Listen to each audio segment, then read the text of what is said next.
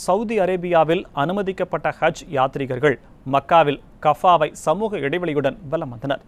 Corona பரவல் காரணமாக இந்த ஆண்டு ஹஜ் புனித யாத்திரையில் பங்கேற்க வெளிநாட்டு மக்கள் வாழ் இஸ்லாமிய மக்களுக்கு தடை விதிக்கப்பட்டுள்ளது. இந்த ஆண்டு மொத்தமாக ஆயிரம் பேருக்கு மட்டுமே அந்நாட்டு அரசு அனுமதி வழங்கியுள்ளது.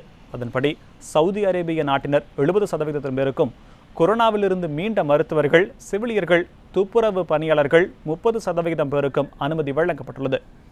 அதன்படி அனுமதிக்கப்பட்ட ஹஜ் யாத்ரீகர்கள் மக்காவின் கஃபாவை சமூக இடைவெளியுடன் வலம் வந்தனர் முன்னதாக யாத்ரீகர்களுக்கு மருத்துவ பரிசோதனைகள் மேற்கொள்ளப்பட்டது என்பது குறிப்பிடத்தக்கது.